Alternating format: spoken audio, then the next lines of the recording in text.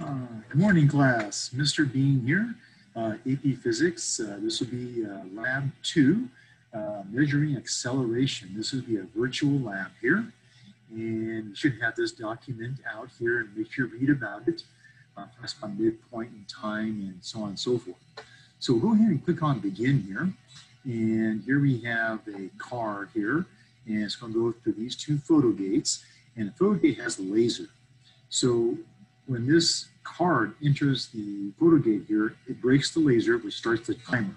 And then when the card exits the uh, photo gate, the, uh, the laser re-initiates and the clock stops.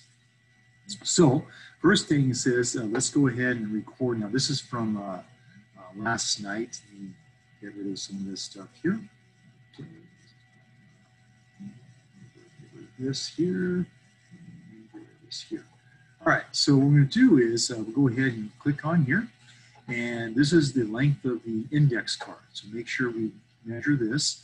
Uh, notice here it says centimeters. Make sure that we are in meters when you put it in here. Okay, and we're going to record that. And um, we're ready to go. We'll hit the start button here. And uh,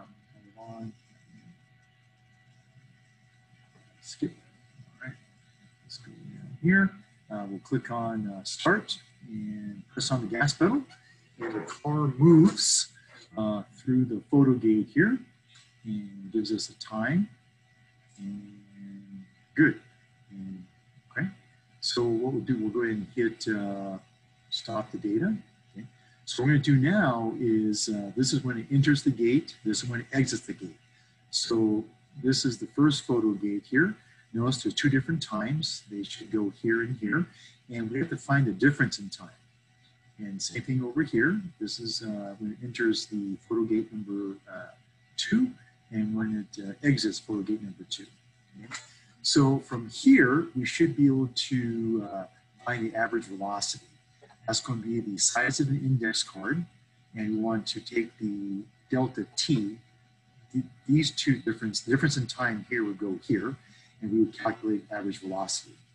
And for average gate number two, we would take the index card size here, uh, get delta t here, and that would go here, and we would have average velocity through gate one, average velocity through gate two. Now, to determine acceleration, that's the change in velocity. So that would be the velocity through gate two minus velocity through gate one divided by the change in mid time. Change in mid time. So we want to go ahead and kind of read about what mid time is here. Okay, uh, it says uh, mid time is a time when the car is at the average velocity for the gate. It happens at the exact midpoint in time between the gate being blocked and unblocked. Okay, so uh, what we could do here for mid time here for for gate number one, we could add these two together, divide by two, and that would go here. Add these together, divide by two, and that would go here and then uh, we're basically done. Uh, we'll click here to uh, enter your answer, and then hopefully you'll stay successful and copy and paste, and that is it. All right. Go ahead and go up here and stop the recording.